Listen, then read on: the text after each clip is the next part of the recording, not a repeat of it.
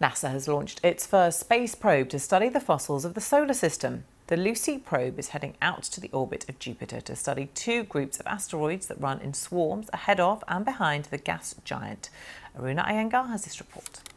Three, two, one, zero. The Lucy probe is on its way to Jupiter. Liftoff. Atlas V takes flight.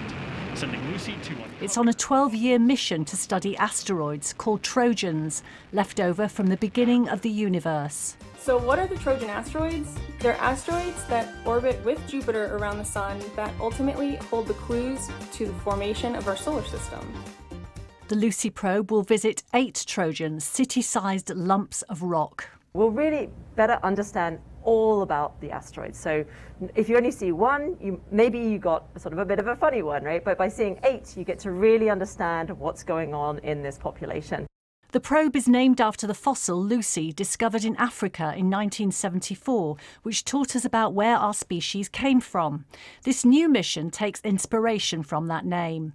Scientists are hoping it will show us proof of a massive reorganisation of matter shortly after the solar system's formation. Aruna Iyengar, BBC News.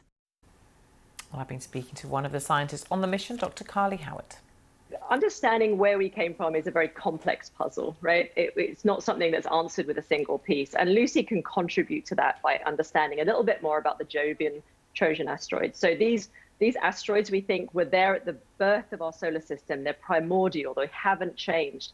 And so by understanding what they're made from, we understand a little bit more about where they might have formed. Did they form in the Kuiper Belt, which is near Pluto?